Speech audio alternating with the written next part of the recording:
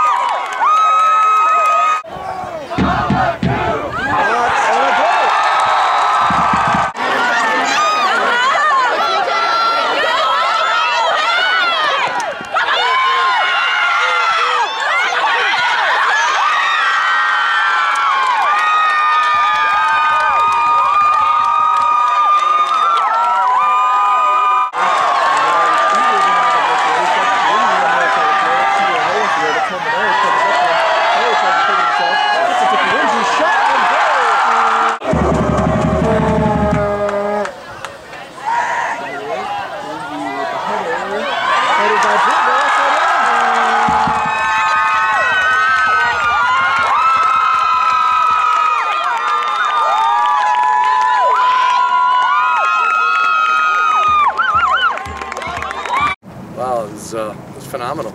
You know, we've uh, we've had a lot of chances during the season, and even in the last couple weeks, you know, we've come away with not the result, but it's not because we haven't had our chances. So I think uh, you know everything just came together today, and we had our chances, and we finished. Obviously, it feels great, but uh, the most important thing is getting three points here. I mean, the goals are a bonus.